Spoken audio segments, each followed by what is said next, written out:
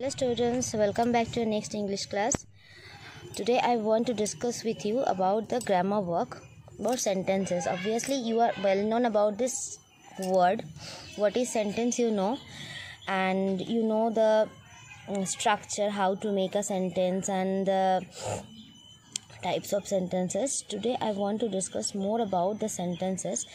You can see the title simple, compound and complex. Okay. There are three kinds of sentences. Simple sentence compound sentence and complex sentence. See the examples. Raman won the first prize in english. The sentence contains only the subject raman and one finite verb own. And such a sentence as this which has only one subject and one finite verb is called a simple sentence. Okay? Now i want to discuss about simple compound and complex. You know the finite verb what is finite verb. So we sentence you can see one subject is there and one finite verb is there. That is a simple sentence. A simple sentence is one which has only one subject and one finite verb. Okay? See. The way was long and the night was dark. He went to the window and looked out but saw nobody. The first sentence contains consists to consists of two parts. See, first sentence the way was long and the night was dark. In the first sentence, there are two parts. First, the way was long and the night was dark. and there you can understand and this is a conjunction is there to join it, right? These two parts are joined together by the coordinating conjunction and each part is a clause. Because each, each part has a subject and a predicate of its own. You know the clause um, if you don't remember so you can go to the last uh, videos.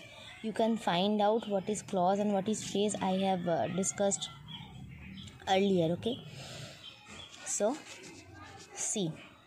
There are two sentences and two sentences are joined by one conjunction and each part is a clause. This part is a clause. Because each part has a subject and a predicate you know what is clause. And each part is a sentence which is a part of a larger sentence. These are part of the larger sentence and both of the sentences are carrying one subject and predicate both. We further notice that each clause makes good sense by itself and hence can stand alone as a complete sentence. Each clause is therefore independent of the other. Okay, or of the same order or rank. Such clause is called the coordinate clause. Okay. This is compound clause. Such a sentence as a as a first which is made up of clauses of equal rank is called a compound sentence. Okay and in the second sentence he went to the window and looked out and but saw nobody. The second sentence is also a compound sentence. It is made up three clauses of equal rank.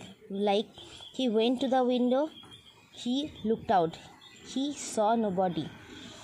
A compound sentence is one that is made up of two or more coordinate clauses. Okay there is a simple thing in note.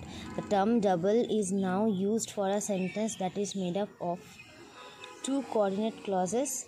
The term multiple is used for a sentence consisting of more than two coordinate clauses. Next, examine the following sentence. I do not know where he lives. This sentence consists also the two parts. But see, I do not know. First part, second part where he lives. Each part has a subject and a predicate of its own and forms part of a latter sentence. Each part is therefore a clause, right? Further notice that the clause I do not know makes good sense by itself and can therefore stand alone as a complete sentence. If you will say I do not know, it can stand alonely without any help of any other sentence or any other part. Such a clause is called a principal clause or main clause which clause can stand alonely mean independently but the clause where he lives does not make good sense by itself and cannot stand alone. It is independent for its full meaning upon to the principal clause. I do not know. It is therefore called a dependent or subordinate clause. Principal clause I do not know. And where he lives, this is called dependent clause or subordinate clause. Such a sentence as this, which is made up of one principal clause and one or more subordinate clauses, is called a complex sentence. So, what is a complex sentence? A complex sentence is one that is made up of the principal clause and one or more subordinate clauses. That is complex sentence. Okay, there are so many exercises, so many sentences. Um, say which is of following sentences are compound or which are complex. Okay you have to find out which is compound sentence which is complex sentence. Try to solve this by yourself. So i want to move to the next part. See you already read about clauses and there are three clauses you know noun clause adjective clause adverb clause. Okay.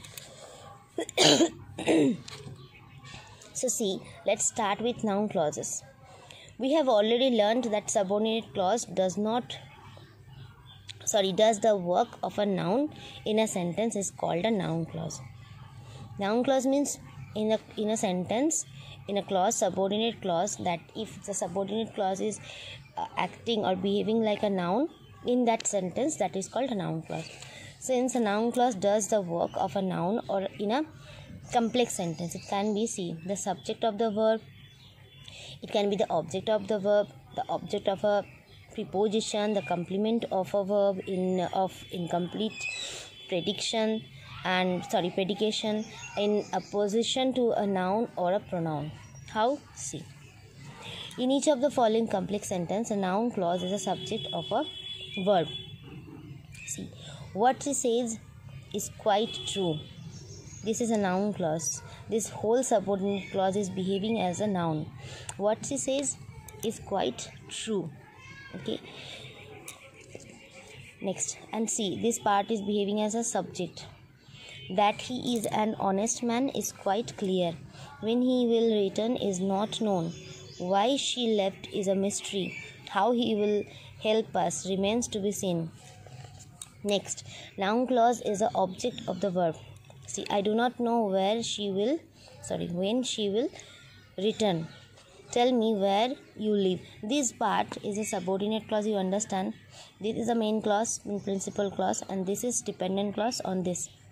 And this whole part is behaving as a object here.